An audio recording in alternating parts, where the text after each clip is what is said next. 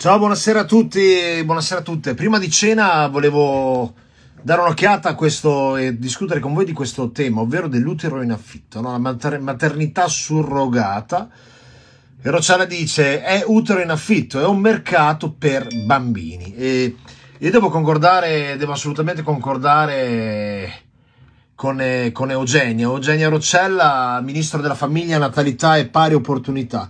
Devo concordare con lei perché Ritengo che la maternità surrogata non sia altro che uno sfruttare, prendendo in affitto l'utero delle donne. Ed è una cosa, a mio parere, mm, molto triste, molto triste che, che di fatto è, è, paradossalmente è promossa da quella sinistra, da quel centro-sinistra, quei falsi buonisti che, che parlano tanto dei diritti delle donne, di, parlano tanto, festeggiano l'8 marzo, parlano dei diritti delle donne e tutto, poi permettono che che delle persone prendano in affitto i, i loro uteri.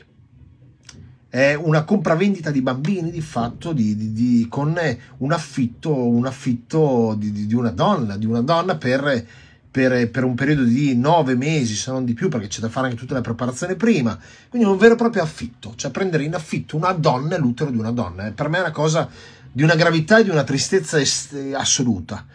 E, contro natura, contro natura, cioè proprio contro natura, palesemente contro natura, quindi non posso essere, da cristiano non posso essere concordo in questo, neanche da padre di famiglia, neanche da cittadino normale, perché è, è, da, è, da, persona che rispetta al 100% le donne, perché prendere in affitto una donna e per nove mesi non è tanto diverso delle, della persona che la prende in affitto per qualche ora per scopo sessuale. Per me cambia poco, sinceramente è sempre uno sfruttare una persona per soldi. Poi pensate, il, stavo leggendo l'articolo, no? questo è un articolo di ADN Kronos molto interessante, dove il ministro per la famiglia eh, spiega che prendere una donna in affitto, quindi un utero per questa, per questa gravidanza, di fatto questa maternità surrogata, può costare anche 100.000 euro.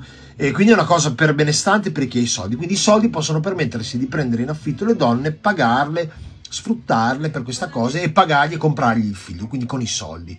E la cosa che mi dà più da fare è che, che alle, alle, donne arrivano 10.000 euro, quindi pensate, su 100.000 euro solo 10% viene dato a, a chi presta proprio utero. La maternità surrogata, chiamiamola con il suo vero nome, dice la ministra, cioè ovvero utero in affitto e mette a fuoco il passaggio di denaro.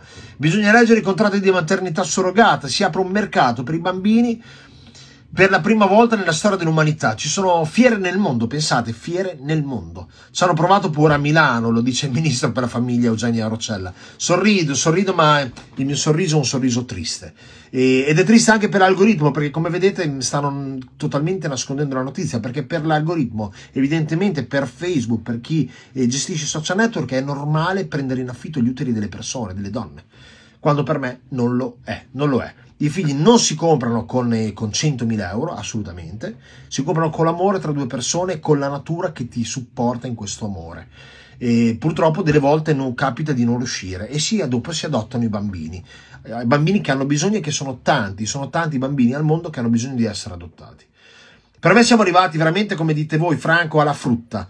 Siamo arrivati alla frutta perché siamo arrivati al punto una, che, che gente con i soldi prende delle donne in affitto per, per, per un anno, le prende in affitto e a queste le fa, eh, le prende in affitto per, farle, fare, per fargli fare dei figli, comprati con i soldi.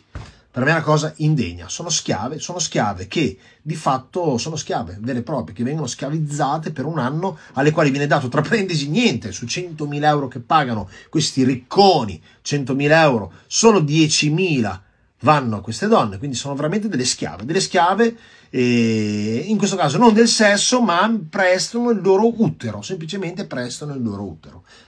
Cosa di una tristezza incredibile, che Dio, che Dio intervenga su queste cose, che Dio intervenga perché è la cosa più naturale che c'è. È una cosa vergognosa, vergognosa. Povero mondo.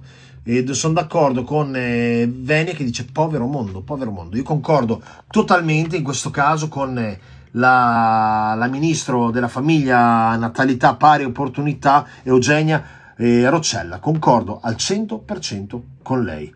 Datemi un vostro parere, sono sono curioso di, di capire, di capire il, quale sia il vostro parere, se anche voi eh, ritenete come la Schlein che si debba permettere in tutto il mondo di dare gli uteri in affitto, intanto l'utero che, che cos'è? Una parte del corpo, cosa volete che sia? Dare un utero in affitto, eh? sfruttare, le, sfruttare le donne in questo modo, cosa volete che sia? Non fa niente, è una cosa naturale.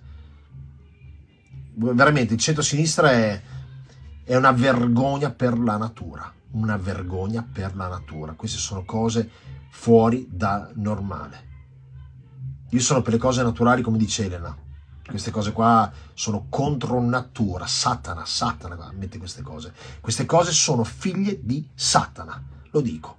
Chi fa queste cose è con Satana al 100%. Non me ne pento di quello che dico, è quello che penso. Potrei dire il contrario, ma è quello che penso. Sono cose gestite dal diavolo, non dall'essere umano e non certo da Dio. Ciao a tutti, vorrei un vostro parere. Ciao a tutte ragazze, buona serata.